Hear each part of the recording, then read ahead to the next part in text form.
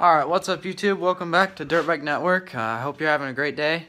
If not, hopefully this video helps. And uh, so today, we're just going to be looking at my quad. And it's got something wrong. There's a sound in the starter.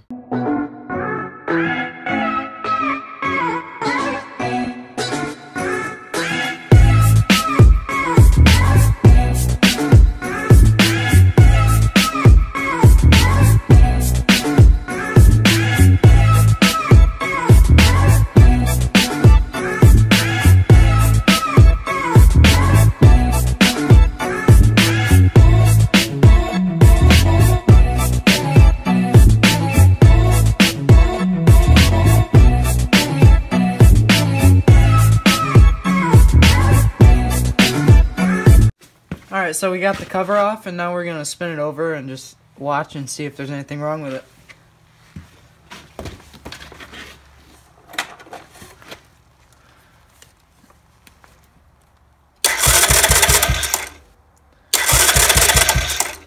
Actually, I think there's a rubber piece that went right Yeah, there. because there's one right there.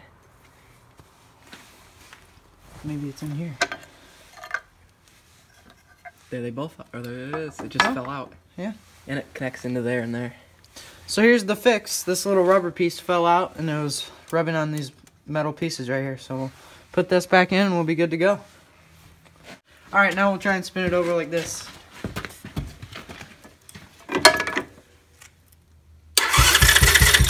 Perfect. Sounds perfect. Alright. We'll put this back on.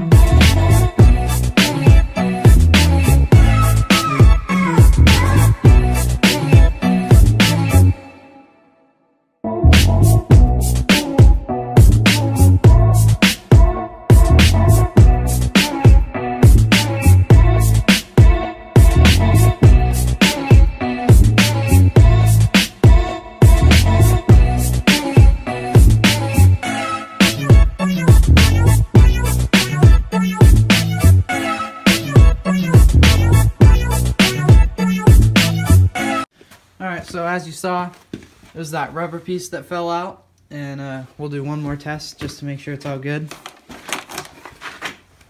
Just listen. Oh.